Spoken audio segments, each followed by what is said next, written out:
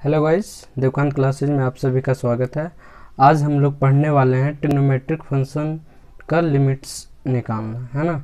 तो सबसे पहले कुछ स्टैंडर्ड फार्मूले हैं जो कि हम लोग को याद होनी चाहिए। सबसे पहला क्या है? Limit sine X by X X tends to zero ये वन होगा, ठीक है? यहाँ पे दूसरा, limit tan X by X X tending to zero हो, तब वन होगा। है ना? ये इसी फॉर्मेट में होना चाहिए। एक्स टेंडिंग टू ज़ीरो ही होना चाहिए, तभी ऐसे रिजल्ट्स का लिमिट्स क्या आएँगे? वन आएँगे। अब मान लो कि लिमिट साइन एफ़ एक्स है ना?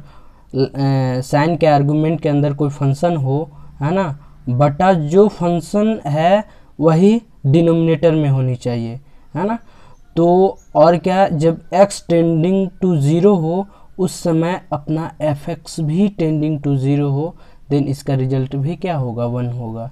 इसी तरह tan F X by F X X tends to zero is equal to one होगा। कब? जब एक्स टेंडिंग टू ज़ीरो हो तो एफ़ एक्स भी क्या हो? अपना टेंडिंग टू ज़ीरो हो। आइए इस रिज़ल्ट पे एक हम क्वेश्चन करते हैं। जैसे अपना एक क्वेश्चन दिया हुआ है कि लिमिट निकालना है वन माइनस कॉस एक्स बटा X square X tending to zero तो जब सबसे पहले जब भी आपको लिमिट का क्वेश्चन मिले तो सबसे पहले आपको वैल्यू पुटिंग करना है। क्या करना है? वैल्यू पुटिंग करना है। जब वैल्यू पुट कर रहे हैं तो ये कॉस ज़ीरो क्या हो जाएगा? वन हो जाएगा। तो वन माइनस वन है ना? जो कि ज़ीरो हो जाएगा। और यहाँ ज़ीरो का स्क्वायर क्या हो जाएगा? ज़ीरो हो जाएगा। इसका मतलब क्या आ रहा है? ज़ीरो बाई ज़ीरो आ रहा है। इनडिटर्मिनेट फॉर्म जब इनडिटर्मिनेट फॉर्म हो तो फिर हमें मेथड्स टू सॉल्व लिमिट्स का कॉन्सेप्ट यूज़ करना पड़ेगा। तो सबसे पहले ये स्टैंडर्ड फार्मूला पे देखो स्टैंडर्ड फार्मूला पे लाना पड़ेगा, इस पे लाना पड़ेगा। तो one minus cos X is equal to होता है, देखो ये ये याद रखना होगा आप लोग के, वन माइनस कॉस थीटा जो होता है, two sine square theta by two होता है। तो इसी तरह हम यहाँ वन माइनस कॉस एक्स को two sine square X by two लिख दिए, ठीक है? अब लिमिट से कांस्टेंट को बाहर निकाल लिए, ठीक है? अब देखो, यहाँ sine X sine square X by two को हम साइन एक्स बाई टू का होल स्क्वायर करते हैं। अब ऐसा क्यों कर रहे हैं? क्योंकि देखो, अपना क्या था? साइन के आर्गुमेंट में एक्स है तो डिनोमिनेटर में भी क्या होनी चाहिए? एक्स होनी चाहिए। तो वही मैं एक्स बनाने के, वैसा ही स्टैंडर्ड फॉर्म में लाने के लिए हमने क्या किया? अब देखो, यहाँ पे क्या था? एक्स स्क्वायर था, है ना? तो हम, मैंने तो क्या किया? पूरे को स्क्वायर के अंदर कर दिया। तब अपना स्टैंडर्ड फॉर्म में आ जाएगा। बट यहाँ पे टू था क्या? नहीं था। तो हमने टू बनाया है। तो टू को मैंने स्क्वायर के अंदर लिया है। मतलब फोर से डिवाइड किया है। तो आपको फोर से मतलब वन बाई टू स्क्वायर से मल्टीप्लाई भी करना पड़ेगा। नहीं तो दिक्कत हो जाएगा। वैल्यू चेंज हो जाएगा ना? ठीक है? तो अब देखो स्टैंडर्ड फार्मूला पे आ गया कि अपना लिमिट होना चाहिए साइन एक्स का साइन एफ़ एक्स का और नीचे भी क्या होना चाहिए? एफ़ एक्स होना चाहिए।